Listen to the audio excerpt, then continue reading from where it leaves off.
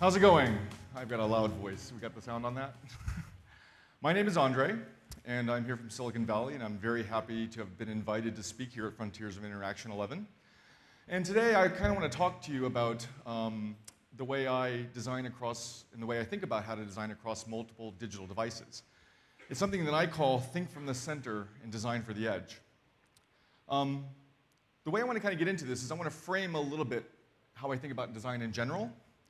And so when I got started, I'm sure many of you uh, may recognize this if you'll uh, allow me. I was taught very early on that design is not art. Uh, what is art? Art is a personal expression of an idea. It's the artist is looking to ex explore and explain their point of view, either through painting or through writing or through photography. But I was told that design is not art. We as designers, we do things that have artistic qualities, um, has artistic merit. But generally speaking, being a designer is not about being an artist. And so I got my start uh, as a graphic designer. I've heard some of you mention this is here in Italy is known as communication uh, design, but as a graphic designer or communication design. And I was taught very early on that design is about communication. It's the way you communicate from a designer to their audience, how you sell an idea, how you, the qualities that you use to communicate uh, of various uh, different ideas that you're, you're, you're, looking to do. And so in that sense, a couple of years ago, uh, some students of Richard Buchanan, who teaches, who used to teach at Carnegie Mellon, showed me some of the things that he used to teach them about what design is. And Buchanan used something called the rhetorical stance. Now, the rhetorical stance, um, to my knowledge, was developed by a fellow named Wayne Booth. And what Wayne Booth was looking to do was to understand how a speaker communicates to an audience, much like I'm speaking to you right now. And he was looking at the qualities of what happens in a speech. And so there are three major qualities he uh, defined. There was the logos, the pathos, and the ethos of a speech. The logos being the logic of the content. Does the content make any sense? Is what I'm saying make any sense right now? There was the pathos, the impact of what was being said on you, the audience. How do you feel about what I'm saying? Do you agree? Do you disagree? Does it make you feel happy? Does it make you feel sad? And then there's the ethos, the style of speaking. Is it humorous? Um, what's the voice being used when you're communicating? And so Buchanan took these notions of the rhetorical stance, and he also noticed that there was the triad of object design uh, from a woman named Elizabeth Sanders. And she came up with the notion of the triad for, for objects, that objects have three qualities the usefulness, the usability, and the desirability. How useful is the object? Can you actually do what the intent of the object was for? Um, that, you know, does the object make any sense? There's how usable is the object, you know, and how that makes you feel. When you're using it, can you use it effectively? Does that make you feel good? And then there's the desirability of the object. You know, when you look at something, like the iPhone, for example, its form and, and appearance, do you actually want it? And so Buchanan took those two things and he put them together. And what you get is an idea of how to communicate, how a designer or a product designer can communicate through an object or a speech to the customer. You can map usefulness to does it make sense? You can see that usability is how somebody feels about the thing. And there's the way it looks and do you desire the, the object in question. And so for a long time, what I've called myself is an interface designer. And interface design is a little bit like um, graphic design, but it's got a slightly different quality. And that is, it's the conversation that occurs between a product and a design, uh, and the person using the product. My job largely has been, can I make something work between a person and the product? Can they talk back and forth? And so when I saw this notion of design being taught by Buchanan at Carnegie Mellon, it made a lot of sense to me. Inter uh, interface design is largely thought of these three triumvirates. Information, information architecture. Um, we have the behavior and the interaction and the workflow of the things that we do and we have its appearance, color, type, and the structure on a screen.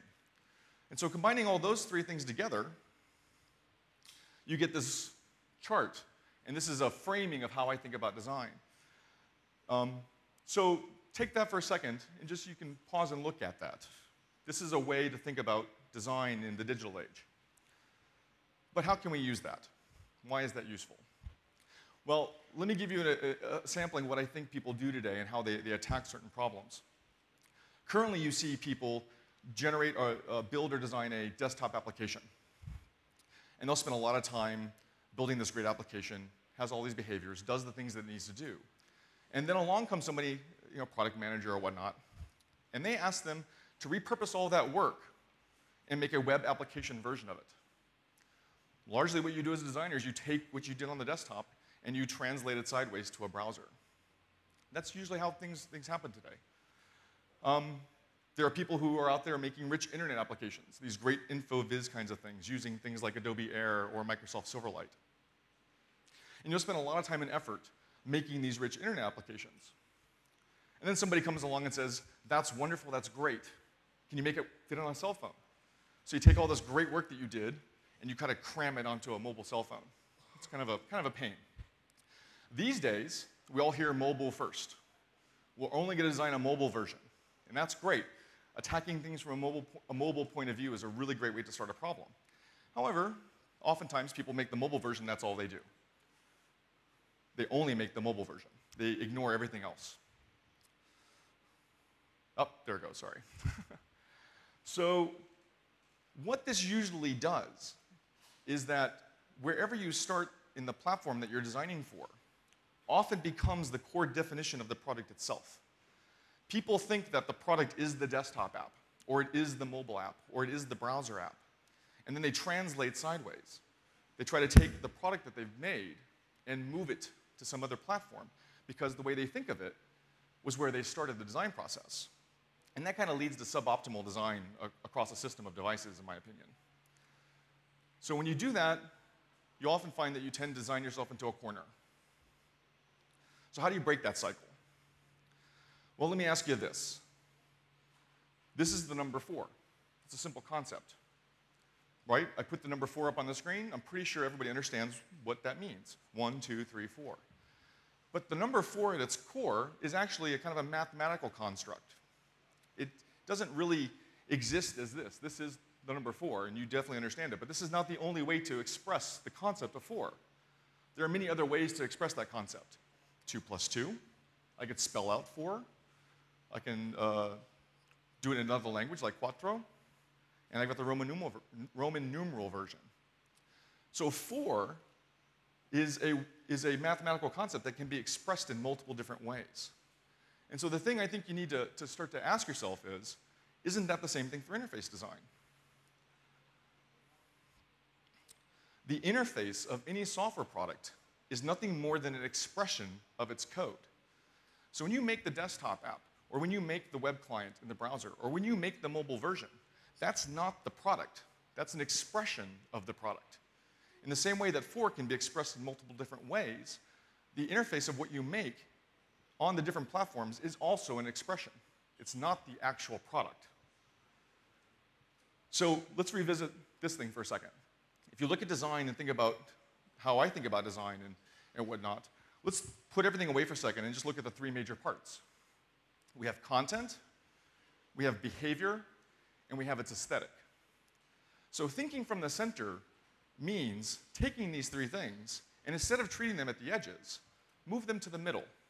Start to figure out what these things are at the core, outside of any technological platform you've got. So I'm at Twitter these days. I'm going to use uh, a tweet as an example. It's a simple example, not a complicated one. Hopefully it expresses the, uh, the concept. So for a tweet, what is the tweet's content? Well, there's a bunch of data behind it. It's got an API. You can access that data. It's got different things of the data. We've got the profile, the person's image. We've got links that point to content in, uh, on the web, as well as photos and movies. There's geotagging, and there's badging if you use Foursquare Gowalla. There are all these things that are the data uh, for, for a tweet that exist on its own. So when you're looking at that and you're working with this as a designer on a team, you all have to understand the core data agnostic of the platform. What is just the core data itself? What, is all that, what does all that mean?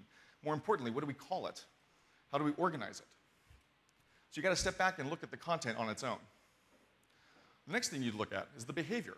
Now, I don't mean the behavior of the application when you put it on a mobile phone or how it behaves on a desktop. There are core behaviors that exist abstractly for your product. In the case of a tweet, we've got three. There's more than this, but there's at least three. There's replying to a tweet, there's retweeting it, and there's favoriting it. I know there's a lot of people out there who want to add to this, like quoting or marking. Those will get added probably at some point in the future, we'll see. But we know that there's these behaviors that live, again, outside the platform. I put these icons on the screen, I put the data on the screen, you understand what I'm talking about. I don't have to put it in the form of a mobile version or a desktop version or a browser version. And then finally, there's the aesthetic. How do you put it all together? And what kind of aesthetic voice do you give the thing? So here is a tweet. We have a type set, we have a type spec, we've got a grid, a composition, an avatar, the iconography style, the timestamp style. When I put that up on the screen, I'm pretty sure a lot of you know what that is. It's a tweet. We've organized all this data. We've got some of the behaviors that are, you know, in this case would be on a rollover or on a swipe. But you understand what this kind of thing is. And yet I've not put this inside of a browser or a mobile phone or a desktop client. It's got its own sense of, of quality. Uh, it's got its own uh, life outside of all of that. So this is the point. You got to step back and look at these three core things, the content, the behavior, and the aesthetic, and start to define them on their own. When you're looking to design digital products across multiple devices, and you want to do that successfully, you're going to have to define, define those things first. That's what is going to be happening in the near future. We're going to have lots of devices.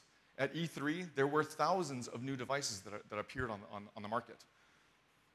So once you have the definition of the core pieces, once you understand the data and the content and the behavior of what it is that you're building, thinking from the center means you take that and you then go off and you design the desktop app. Now you do this normally, oftentimes. But again, the moment that you're now ready to design the mobile or the browser version, you don't translate sideways. You don't take what you built on the desktop and say, how do we make that work in a web app? You go back to the center and revisit all your core pieces. What, again, are the core things? And then you go back out and you treat the browser version and the mobile version as an expression of the product.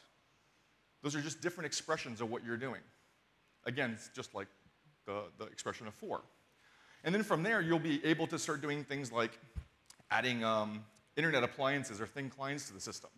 And more importantly, in the future, we're going to have all these kiosks and billboards and surfaces in restaurants and surfaces in the airport um, all over the place, in the home, in the kitchen. And now you can actually start to look and design your product from a point of view of how does that work for each platform. Now, in practice, this can be a little difficult. Um, got a couple examples here. Before I joined Twitter recently, I was uh, in charge of the Yahoo Mail redesign, the one that just came out uh, very recently. And here, we employed a lot of these practices.